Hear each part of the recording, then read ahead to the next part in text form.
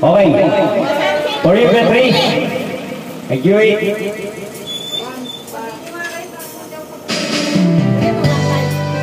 Hello.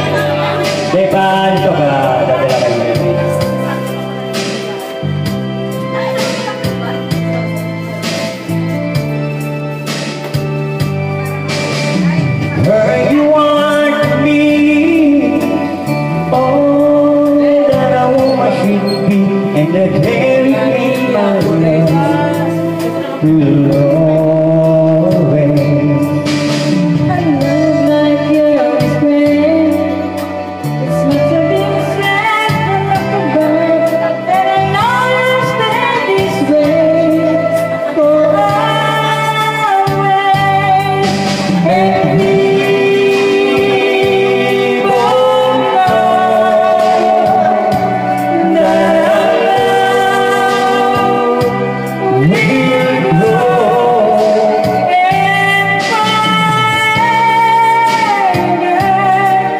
Yeah.